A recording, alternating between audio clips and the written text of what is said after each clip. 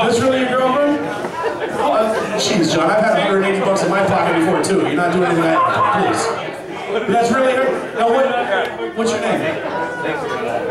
No, John. I, yeah, I already know his fucking name. What's your name? I can, you have to say it with your mouth. What? Monique. Monique. Monique. I'm assuming that's her name, not yours, because that would be awful. You would ruin the name. If your name was Monique, that would ruin so many masturbatory fantasies for me. That's Monique. Okay. Monique, why are you dating John O? He asked me. That's all it took? Now, had you ever seen the comedy before tonight? No. No, no, I have. No, So tomorrow, add me on Facebook when you're single, because that was a, a turnoff. That was good, John. Did you enjoy his comedy? Did you enjoy the part about the black girls? That's a fake. I thought he brought you like a prop, like, hey, listen, I'll give you a hundred bucks if you come and listen to me tell this joke and then kiss me after. Because that would have been that would have been really funny. Knowing that you were really here to see Clown, that like, Ugh. but if you would just come like on a joke, like, ah, we're just fucking with you. I only date white girls still. Um, no, that'd be pretty funny stuff. Is John the first white guy you've ever dated? No? Second? Have there been a lot? How many? Does John know? Have you ever dated a black guy?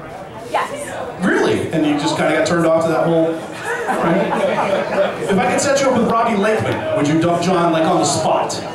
He's a world record holder in Donkey Kong. I'm not, well, you know, I'm not trying to make panties hit the floor like that, but he, Robbie, go go play some Mario Brothers. Get these ladies good. Do what you gotta do. Later, later we'll play. Later, we'll, okay. Yeah, we'll play later. Ladies, that's something to stick around for. Panty dropping video game stylings of Robbie Lakeman, who will stand with his back to you for hours. Play Mario. Well, John, thank you for coming all the way up from Manchester on your day off. Or not even your day, you faked it and called out of work. So no one tagged John O on Facebook. He is lying about where he is right now. And you came in your work shirt. That was nice. Very nice. All right, and now you have a girlfriend, so you don't have to come on your work shirt like you've for a couple of years. That's awesome. Unless you want to wear, Monique, you can wear it, and you can be like, hey. I tried to think of a really funny car metaphor, and I couldn't, so I just went, because that works.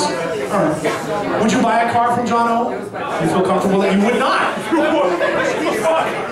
It's fair enough. We're going to uh, bring up a special guest. It's not John O, although he does have several more minutes of jokes. Oh, yeah. Kiss him good, Monique. Kiss him real good.